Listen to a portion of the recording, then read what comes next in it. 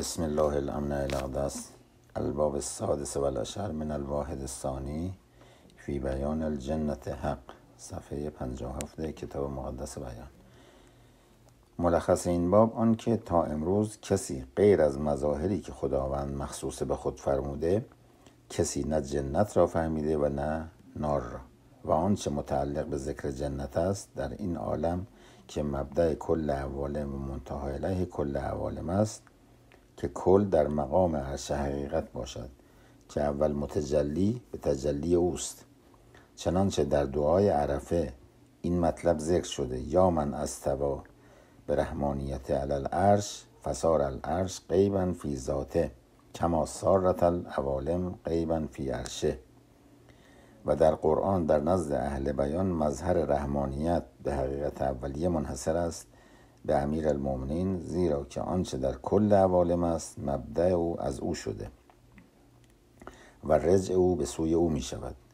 مثلا از یوم آدم تا امروز نزد هر ظهور حقیقتی به اول من آمن به او فتح ابواب به حق و دون آن شده. تا, خ... تا آنکه جوهر کل حق منتهی می شود به این ظهور و دون آن متحقق می شود به این ظهور. چنانچه اگر کسی به جوهر نظر نظر کند می بیند که کل عوالم مبدع آنها در مقام اراده بوده که او به مشیت, مشیت موجود می گردد و او به نفسها و اوست محیط بر کل عوالم به احاطه رتبه کینونیتی زیرا که هر صاحب رتبه در این بیان صاحب رتبه باشد.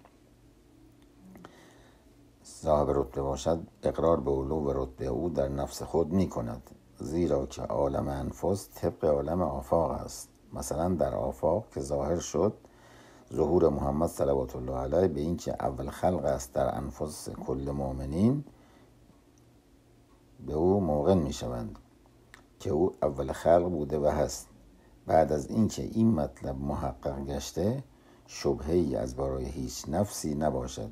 که در علم الله هیچ جنتی از ظهور الله در نقطه مشیت اعظمتر نبوده و نیست.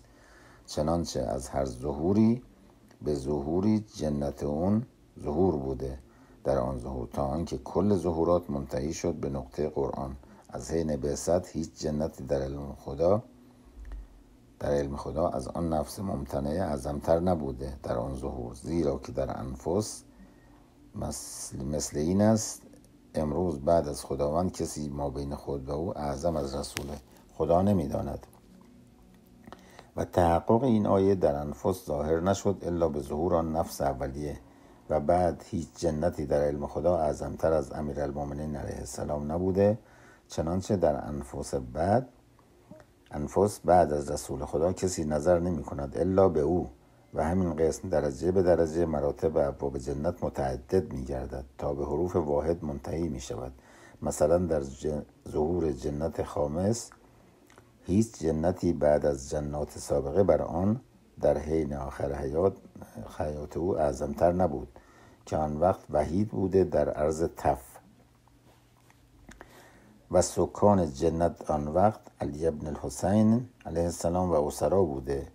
و همین قسم مشاهده کن کل جنات را تا به حرف میم منتهی شود و بعد راجع می گردد به نقطه و به نقطه و از حین ظهور این امر به تسع تاسعه دقیقه آن و آنچه احسا توان نمود اول ظهور جنت نقطه فرقان بوده در آخرت او که جنت بیان باشد در اولای او. آن حین در علم خدا جنتی اعظمتر از او نبوده و الی یوم من یسر الله صلی الله علی من تزرنه یوم القیامه. جنتی از اون اعظمتر نیست و حین ظهور او مبدل می شود جنت او ادلای نقطه بیان به جنت مبدل می شود جنت اولای نقطه بیان به جنت اخرای او.